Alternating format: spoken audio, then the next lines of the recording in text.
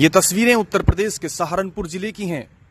सहारनपुर की कुतुबशेर थाना पुलिस ने एक अवैध तमंचा फैक्ट्री का भंडाफोड़ किया है। आप देख सकते हैं, इनके कब्जे से भारी मात्रा में अवैध तमंचे बरामद हुए हैं। यह सभी तमंचे बनाए गए थे और कहीं ना कहीं इनका इस्तेमाल अब विधानसभा चुनाव 2022 में भी हो सकता था। इससे पहले ही पुलिस ने इस अवैध फैक्ट्री पर छापा मार दिया। मौके से दो लोगों को गिरफ़्तार किया गया है, जबकि इनका तीसरा साथी फरार हो गया।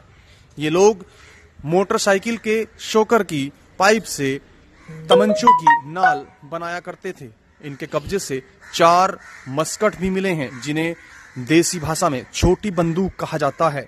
आप देख सकते हैं इनके पास जो औज़ार हैं, उनकी भी तस्वीरें आप देख सकते हैं। इन्हीं औजारों से ये इन तमंचों को बनाया करते थे। वेल्डिंग मशीन इनसे मिली है, कटर इनके पास से मिले हैं और दूसरे औज़ार भी इनके पास से मिले हैं।